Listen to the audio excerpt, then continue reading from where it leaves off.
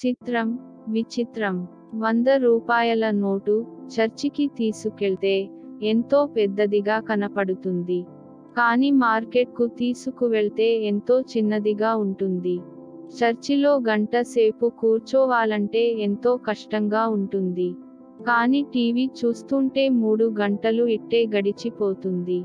Cinema నిడివి ఒక గంట పెరిగితే చాలా సంతోషిస్తాం. కానీ ప్రసంగం మామూలు సమయం కన్నా ఐదు నిమిషాలు పెరిగినా భరించలేము.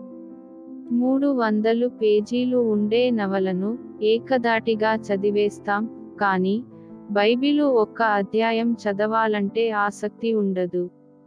వార్తాపత్రికలో వ్రాయబడిన దానిని ఇట్టే నమ్మేస్తాం కానీ సత్యవేదంలో వ్రాయబడిన దానిని సందేహిస్తాం. నాటకశాలకు వెళ్ళినప్పుడు మొదటి సీటుకై పెనుగులాడుతాం.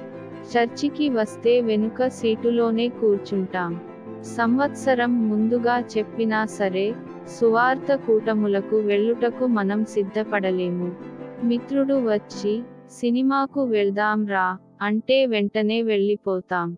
మనం ఆఫీసుకు కానీ స్కూలుకు కానీ ఎప్పుడూ ఆలస్యంగా వెళ్ళము కానీ చర్చికి ఎప్పుడూ ఆలస్యంగానే వెళ్తాం. దేవుడను తండ్రి అని పిలుస్తాం కానీ ఆయనను ఇతరులకు పరిచయం చేయటానికి సిగ్గుపడతాం. సువార్తను వ్యాపింపజేయాలంటే చాలా కష్టపడతాం.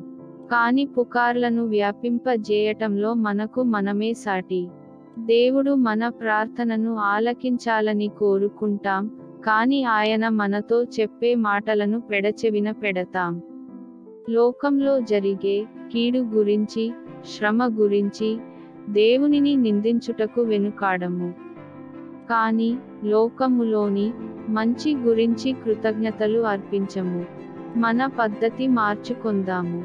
మోకరించి సరిచేసుకుందాం. ఆమీన్.